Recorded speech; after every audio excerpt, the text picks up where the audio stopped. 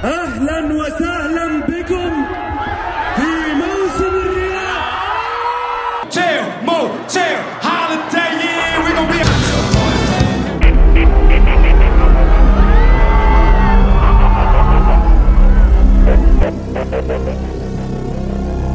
Pangeran Arab Muhammad bin Salman menggelar pentas musik besar-besaran dengan bintang panggung rapper cabul, Pitbull. We out.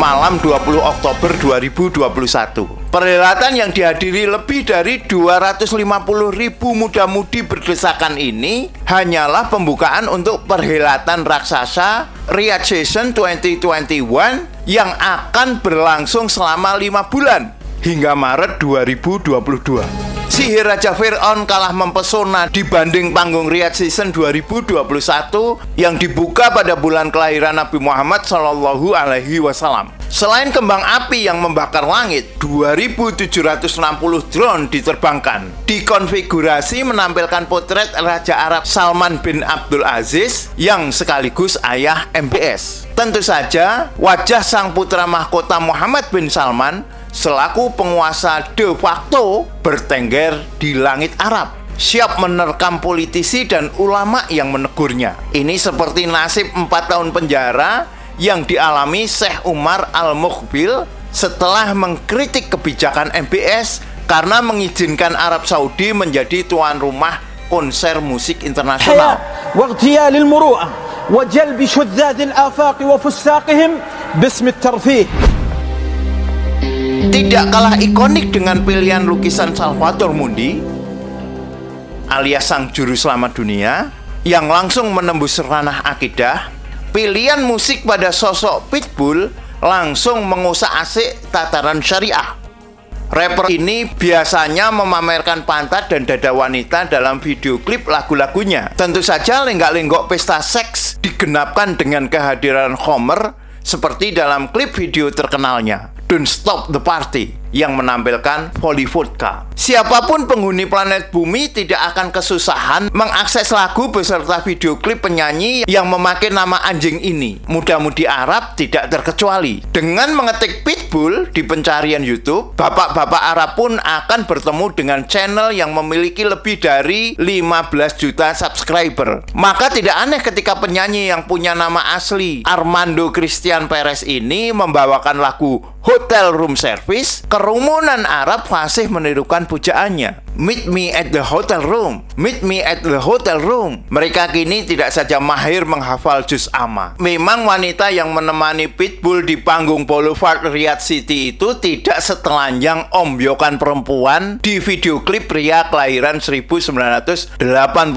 ini. Di Arab, wanita panggung Pitbull berlaku dalam tanda petik sopan meskipun tidak ada kerudung tersampir. Mereka mengenakan baju panjang warna merah dan celana panjang ketat warna hitam. Kendati tampilan itu jauh lebih dalam tanda petik santun jika dibandingkan saat Pitbull membawakan lagu yang sama di panggung Berlin, memajang wanita lenggak-lenggok di panggung di hadapan tatapan ratusan ribu pria yang selama ini dibatasi pandangannya adalah sekali lagi dalam tanda petik capaian istimewa duniawi Muhammad bin Salman. Dunia tahu, selama ini wanita di Arab Saudi diwajibkan menutup seluruh tubuhnya dengan jubah abaya berwarna hitam. Kerudung, kaos tangan, dan burka atau cadar hitam tidak lupa dikenakan. Panggung adalah contoh legal dari penguasa. Membuka kerudung pada tahap awal adalah revolusi sukses sang putra mahkota. Tak pelak, lautan wanita yang berdesakan dengan pria ikut berjoget, lepas kerudung tanpa ragu. Tentu saja tidak semua membuka aurat. Di tahap awal revolusi ini,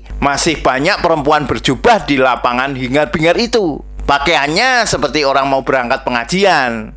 Tetapi di sana mereka menari. Suatu lanskap yang tidak ditemukan di tempat lain. Pemandangan itu dengan sukarela mereka suguhkan di berbagai platform media sosial, termasuk TikTok.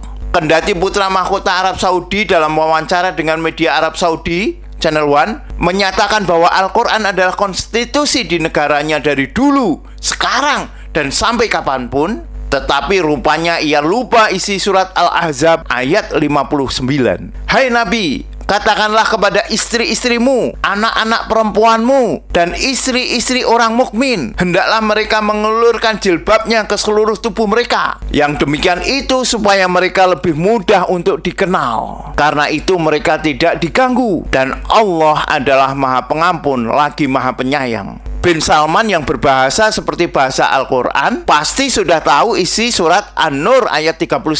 Hendaklah mereka menahan pandangannya dan kemaluannya dan janganlah mereka menampakkan perhiasannya kecuali yang biasa nampak daripadanya dan hendaklah mereka menutup kain kerudung ke dadanya. Genap sudah ekspresi Muhammad bin Salman pada pembelian lukisan Yesus karya Leonardo dan gelaran Pitbull pada panggung Riyadh Season 2021.